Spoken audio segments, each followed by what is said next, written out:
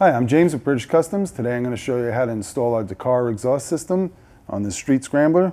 It's inspired by Dakar racing and we wanted to get the pipe down lower to get this high pipe out of the way for people that want to tuck in a little bit tighter to the bike. It's got cool dirt bike styling and uh, the Dakar system is what we came up with. First we're going to start by taking the seat off.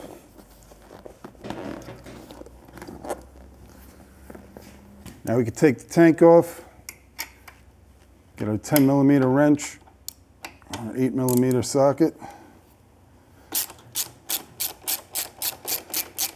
You don't have to take the tank all the way off. We're just going to pull it back so we can expose the O2 sensor plug and unplug it.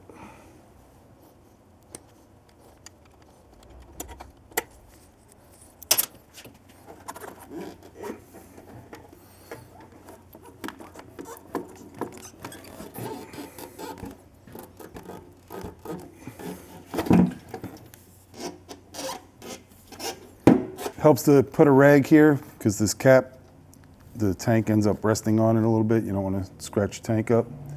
This is your O2 sensor. So you can see the plug is right here. It's usually attached there. For some reason, it's not on here. But So to get your O2 sensor unplugged, there's a little tab right there. You need to lift that up. And when you lift that up, you can pull it apart. This little lock tab right there clicks into that hole. So you're just picking that up so this can slide out. So now we want to get this flange out of the way and we'll take that O2 sensor out of the head pipe. So with your 12 millimeter socket, take that nut off.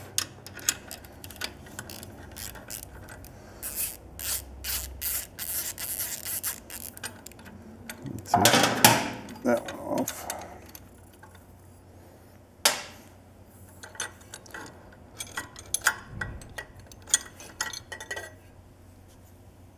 So it's important that you unplug the O2 sensor for this step here because as you turn this out, you're gonna be twisting the wires up and you can damage your O2 sensor in here or up here.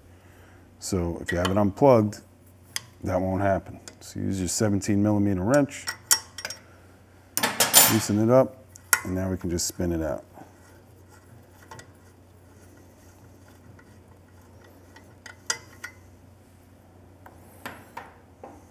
So now we want to loosen this clamp on the left head pipe.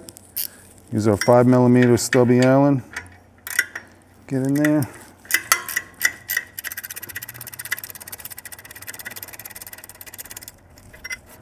And then we want to loosen up the left head pipe. So now we just want to loosen this flange. We don't need to take it completely off. We're not taking that O2 sensor out and we're going to reuse this head pipe so they can just stay put. Okay.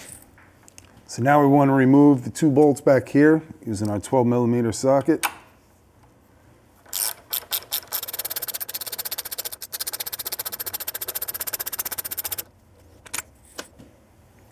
You have these spacer washers and rubber. I'm going to pull them out so you don't drop them.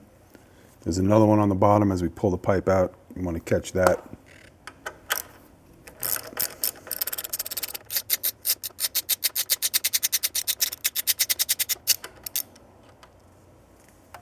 Now we're going to pull this exhaust outward and that's where you want to have your hand under here to get the spacers and the rubbers out so don't fall and scratch a rim or something. Go forward. Out. So now we want to install our left head pipe connector pipe. We're going to get the clamp that comes with the kit and put it on. We're just going to slide that on for now. Don't tighten anything up. So now you want to pluck your old gasket out of there. You're going to put the new one in. You can put a couple dabs of grease on the back side of it to help keep it in place a little bit until you get your pipe on. We want to put our O2 sensor on and put a little bit of anti-seize on there. You don't want to go crazy. You don't want any seize getting on the sensor itself. You only want it on the threads. Screw that in. Our 17 millimeter. Tighten that up. Then we can put that in place. Get our flanges. Got this slot here is for the O2 sensor, so make sure that one's on top. And these just fit into each other. And then onto the studs.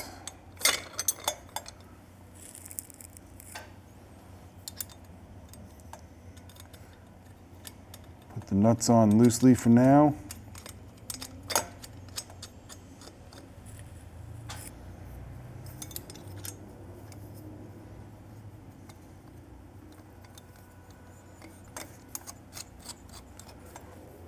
We can plug our O2 sensor in.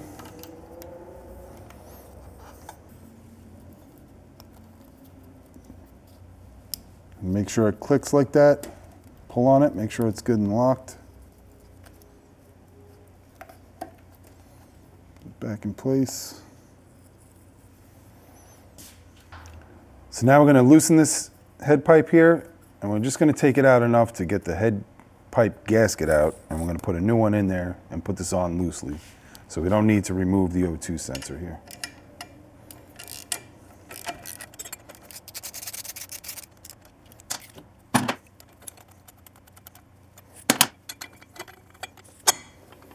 So now just take a pick,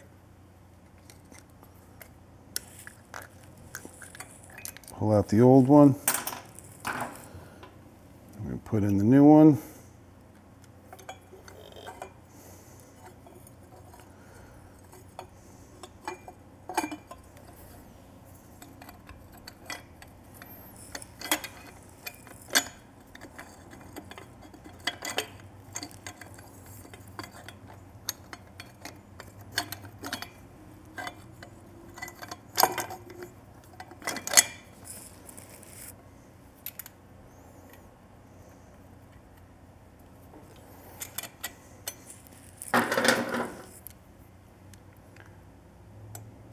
Put these nuts on loose for now.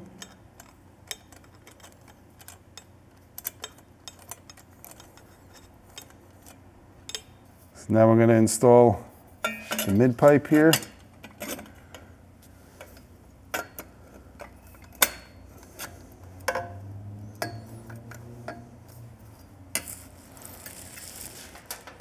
So now let me take our spacer have our screw. We put a little Loctite on it. Make sure you use the washer with the screw. And this is a tight fit here, so you need to push on the pipe a bit to get it up there. If you can't get it aligned, you may have to give it a little tap with a rubber mallet or something. Don't use a rubber, uh, don't use a metal hammer. There's our six millimeter Allen. What could also help is if you loosen up your head bolts up here, the exhaust flange bolts, it can move forward a little bit. And that can help you get it on there.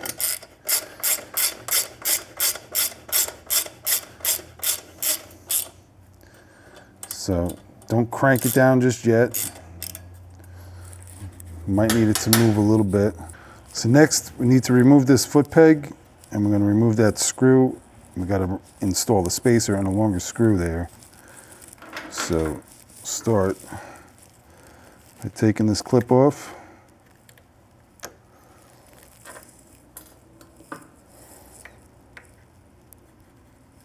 Push the pin out.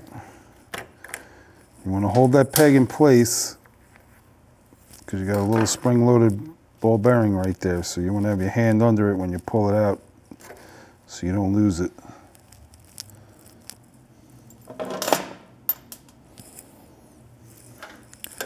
And with the 8 millimeter, I'm sorry, 6 millimeter Allen socket and a 12 millimeter wrench.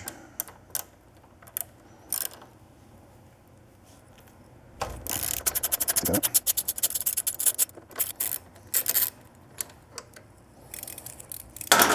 So now we're going to install the tailpipe.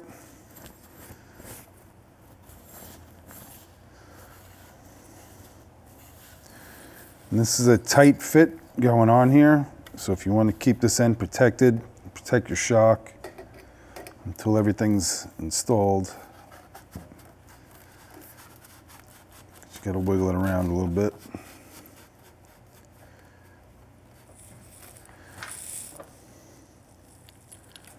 Okay, we want to put our black spacer between the pipe and the foot peg. Going to get the long bolt from the kit, put it into our foot peg bracket.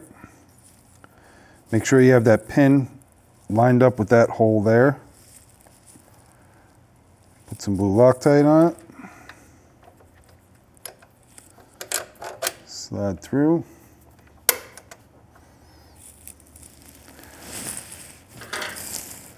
We're going to get the nut that we removed. I'm going to put that on the back. And with our 6 millimeter Allen and our 12 millimeter wrench, tighten that up.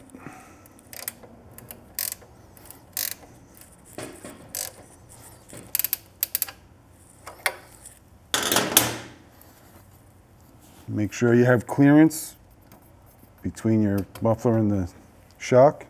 So now we can put our foot peg back on. Make sure our ball and spring are in place.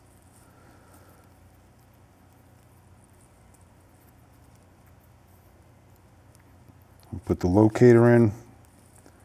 You want these facing away from the foot peg. They should lock onto the bracket that way. Can put a little grease on the bearing there to help hold it in place.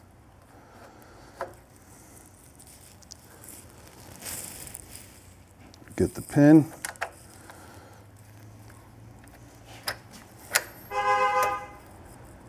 Push it back through. Get the clip.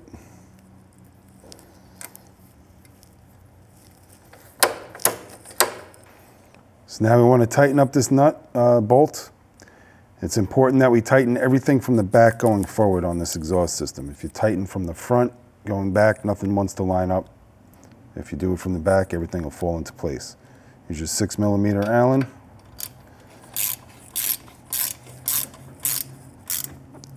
Tighten that. Now we'll go put our springs on. So now we can put our springs on.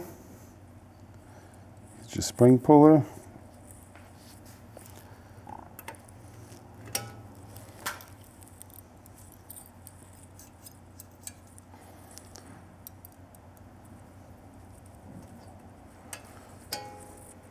So now we want to tighten down our right side head pipe. Start with our lower and then go to the upper using your 12 millimeter socket.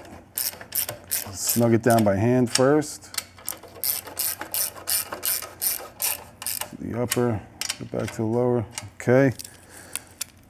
We get our torque wrench and we go to 10 Newton meters.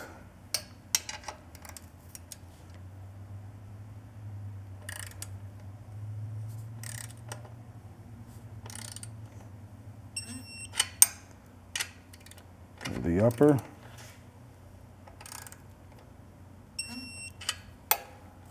Back to the lower again. And it's good.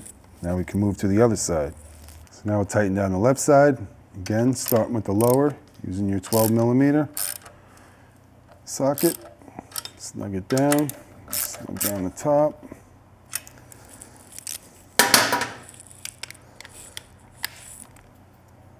10 newton meters.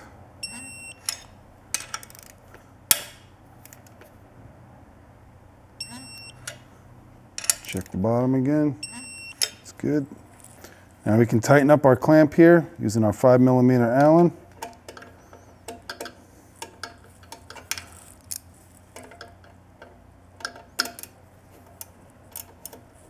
you don't want to go too crazy tight on this because you could keep going so tight that you break the welds right off of there. So kind of got to use your judgment. It shouldn't have to take too much force. Once it gets tight, it's tight. Once this is fully tightened down, the clamp and the pipe should be flush with each other. At the end, you don't want this too far in because it might leak, and if it's too far over, it can leak out this side of the clamp. So they should just be even with each other. Now we can put the tank back on. It's important to make sure the locators, there's a little U-shape inside the tank there, should go around the rubber bumpers here.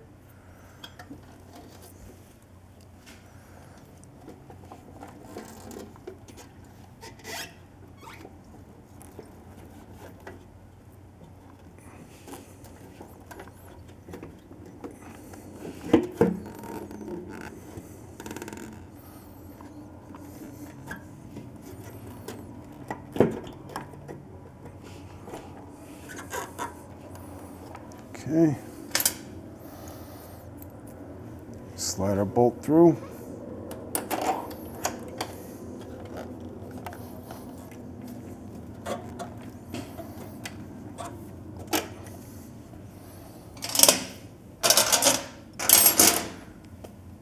Put the nut on the other side. A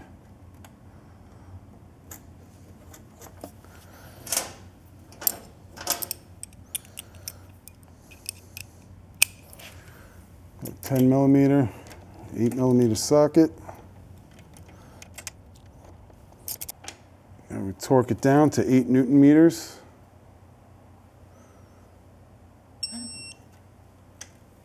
Now we'll put the seat on.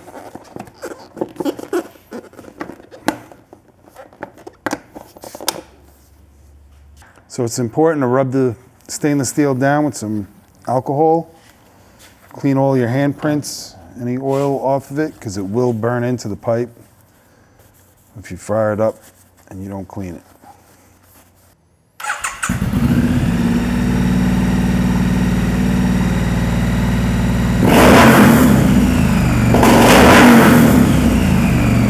So we highly recommend that you tune the bike for a full system like this one. You can check out our tuning guide on the website. Thanks for watching.